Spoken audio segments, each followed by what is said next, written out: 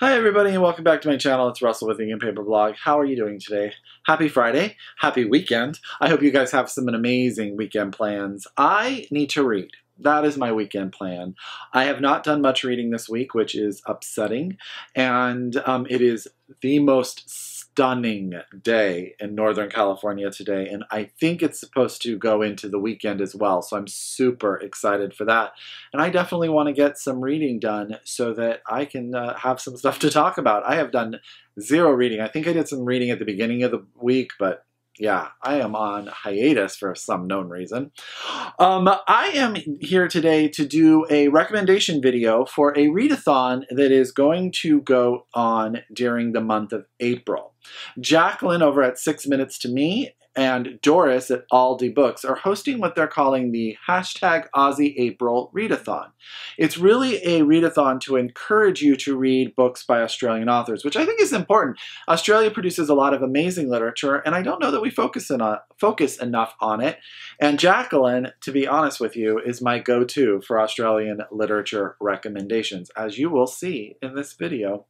Um, the readathon has a two prompts and two bonus prompts, and really, again, it's to celebrate Australian writers and also to celebrate Jaclyn's one year booktube anniversary. Congratulations, Jaclyn. So I'm going to link both of their announcement videos down below for you so that you can go ahead and take a look at their videos regarding this readathon. And I am going to give you some suggestions for your readathon. Now, as I always say, get out your pen, get out your paper, get out your Goodreads, because all these books are going to wind up on your TBR regardless if you participate in this readathon. So the first prompt is an Aussie release that you've reviewed, seen reviewed on BookTube. So a new release that you've seen reviewed on BookTube. So I'm going to give you two recommendations. One, I saw on BookTube. Well, first I saw it on Jaclyn's Instagram, and then I saw it on her channel, and that is Laura Elizabeth Woollett's Beautiful Revolutionary. This came out this year here in the US from Scrib, and I don't, or Scribe, I'm sorry, Scrib in my head, um, Scribe Publishing, and I bought this actually at East Bay Booksellers in Oakland one of my favorite absolute bookstores in Northern California. Um, so it is definitely available. Beautiful Revolutionary. The author, um, Laura, is from Perth, Australia, and she um, writes a novel about a young woman who is really at odds with herself. She is a minister's daughter, but she is herself an atheist. She's a married woman, but she is also just on the verge of trying to figure out who and what type of life she wants to live.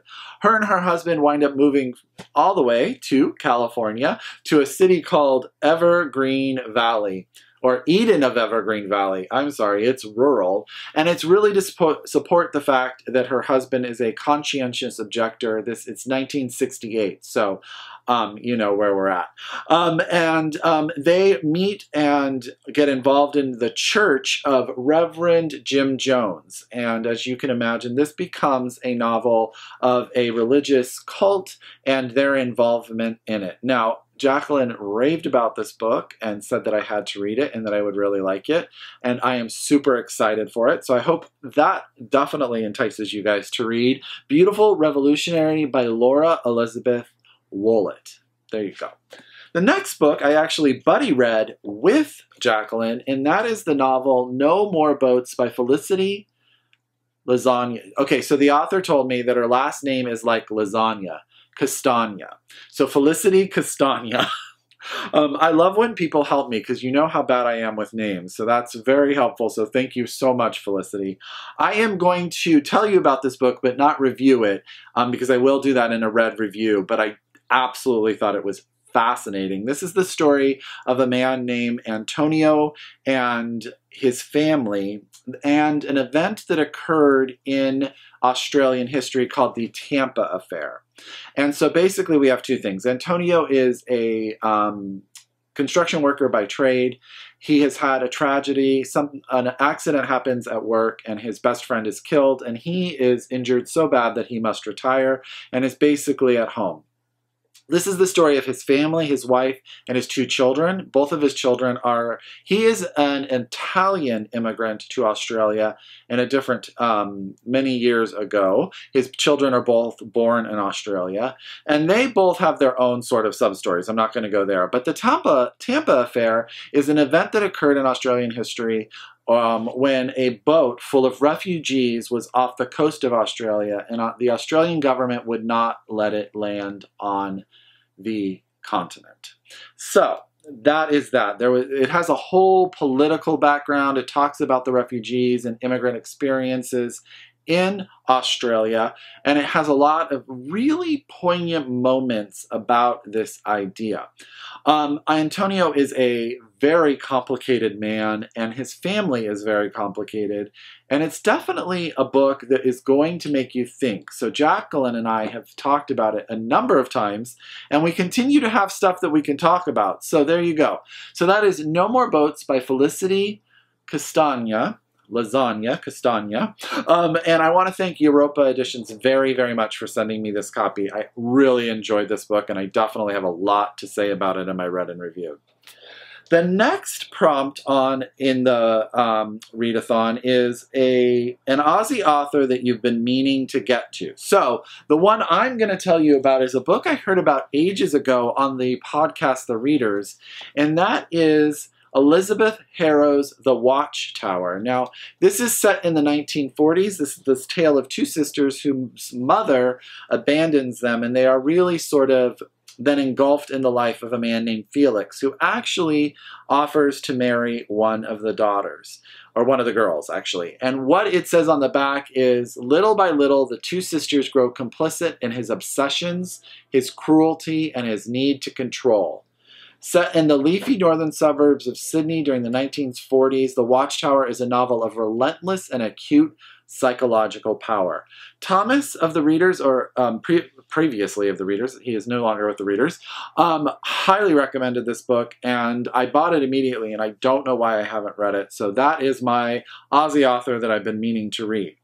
The one I'm going to recommend to you guys, just in case you missed this book when it came out, or any of her books, you may have more access than I, that is Foreign Soil by Maxine Beneba Clarke. Now, this is a short story collection that is worth every page of your time. Now, Maxine Beneba Clarke also has written a memoir called The Hate Race. I don't own it, but I've heard nothing but phenomenal things about it, so that may be something more up your alley. The Foreign Soil is really a short story collection that focuses on really the human experience. I'm just going to tell you about the first story called Danny. It's been a while since I read it. David. David. This is a story of a young woman who run, uh, is riding her bike that she has just got, and she runs into a woman who asks if she can ride it. And as she's riding the bike, it gives her sort of this utmost joy. And we find out through sort of flashbacks why the bicycle and the idea of riding a bike are so important to her. The first story will freaking break your heart.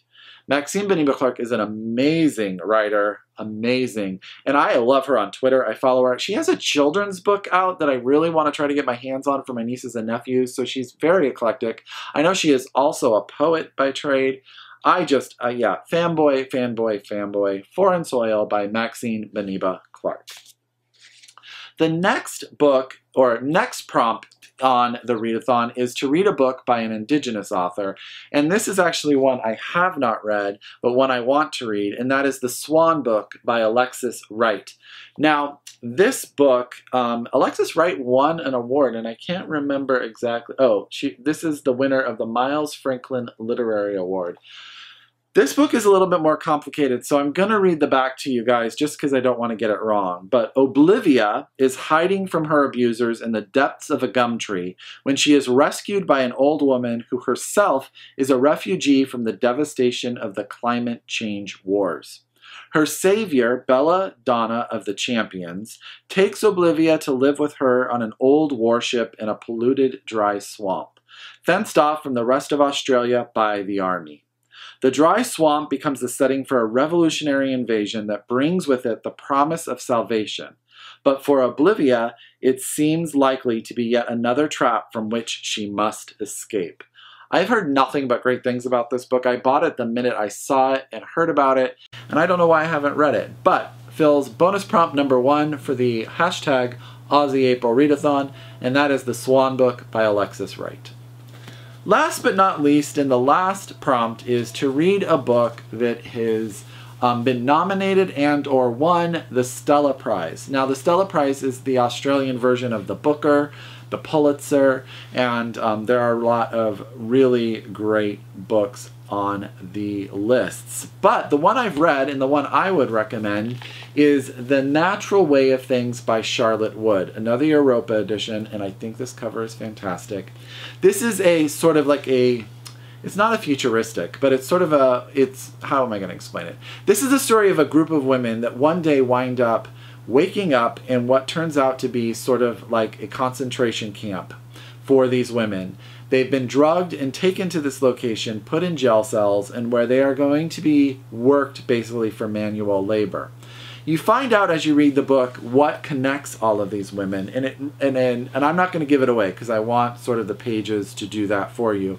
But they have sort of something that they have stood up for and societal norms have caused them to be stigmatized for what they have stood up for so someone you don't know who at the beginning has paid for them to sort of been removed from society and turned into this camp what happens is they become accustomed to the camp, things happen, and they turn into sort of this little commune.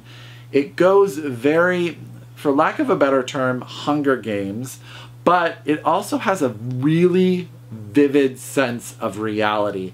I could see the movie for this in my head as I read the book. It will keep you on the edge of your seat. It's definitely got an edge to it. It's got a heartbeat that's that. You know what I mean? It's definitely got that, but it also has a lot to say about how women are treated in society for different things and then how they can become their own group, how they sort of create their own friendship, their own bonds, and some other stuff, which is just phenomenal.